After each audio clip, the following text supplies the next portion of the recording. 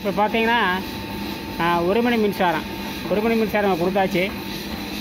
கொடுத்து இது பிஎஃப்டியில் கொடுக்குறேன்.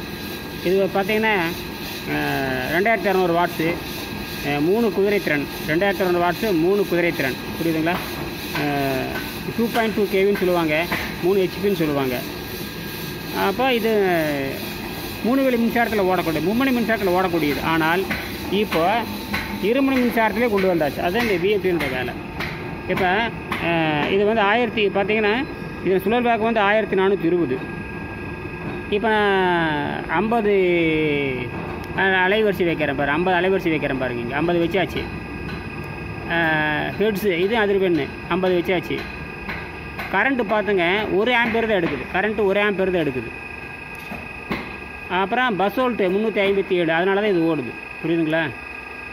அப்போ ரன்னு இது வந்து பர்சன்டேஜ் ஆஃப் கரண்ட்டு சி வந்து சி டாட்டு டென் பாயிண்ட் ஒன்று இதெல்லாம் வருது. இது வந்து ஐஜிபிடி அதனுடைய வெப்பம். இப்போ டைரக்ட் வோல்ட் இது வந்து நேராக இரநூத்தி இருபது வோல்ட் உள்ளே போகுது. இரநூத்தி இருபது வோல்ட் உள்ளே போகுது ஒரு ஆம்பியர் எடுத்துக்குது அவ்வளவுதான். இப்போ ஆம்பியர் எவ்வளோன்னு பார்க்கலாம் இப்போ ஆம்பியர்.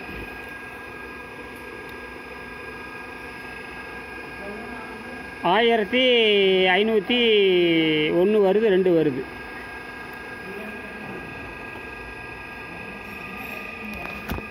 இதுதான் இன்றைய நிலைமை. நல்லா புரிஞ்சுக்கணும். ஆயிரத்தி ஐநூற்றி ஒன்று வருது. இப்போ நல்லா புரிஞ்சுக்கணும்.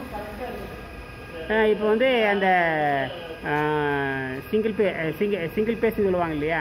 சிங்கிள் பேஸ் தான். ஒற்றை ஒருமணி மின்சாரம். அதற்கான டிரைவ் விஎப்பி வாங்கி வச்சுருக்கேன். இது என்னென்னு கேட்டிங்கன்னா மின்சாரத்தை குறைச்சி கொடுக்குது. ஆரம்பத்தில் பார்த்தீங்கன்னா இரநூத்தி இருபது ஓட்டு எடுக்குது. இது அப்படி அப்படியே குறைஞ்ச வேகம் அதிகமாக அதிகமாக என்னன்னு கேட்டிங்கன்னா ஓட்டு குறைஞ்சிருது. அதே நேரத்தில் என்னன்னு கேட்டிங்கன்னா ஆர்பிஎம் கம்மியாக வந்தால் மின்சாரம் குறையுது. இது வந்து வெறும் மோட்டார். இப்போ வெறும் மோட்டார் விடுவதற்கான திட்டங்கள்.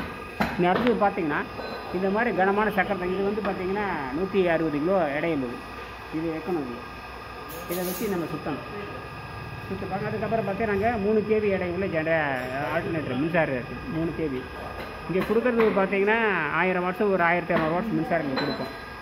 கொடுத்துட்டு அங்கே பார்த்தீங்கன்னா மூவாயிரம் வாட்ஸ் மின்சாரம் எடுக்கணும்.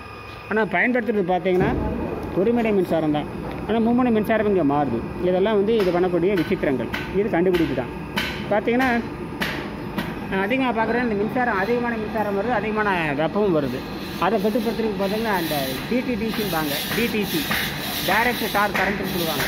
டைரக்ட் டார் கண்ட்ரோல்னு சொல்லுவாங்க. அதை நீ பயன்படுத்தணும் அது பயன்படுத்தோம்னா நம்ம ஓரளவுக்கு அந்த மின் என்ன பண்ணால் நிறுத்தி நிறுத்தி மோட்டாரை நிறுத்தி நிறுத்தி ஓட்ட முடியும். அப்படி நிறுத்தி நிறுத்தி ஓட்டுறதுனால நம்ம குறைஞ்சபட்சம் மின்சாரத்தை மோட்டாரோடைய சூட்டை வந்து நம்ம குறைக்க முடியும். இதெல்லாம் யோசனை பண்ணிட்டு இருக்கிறோம். என்னென்னு பார்ப்போம்.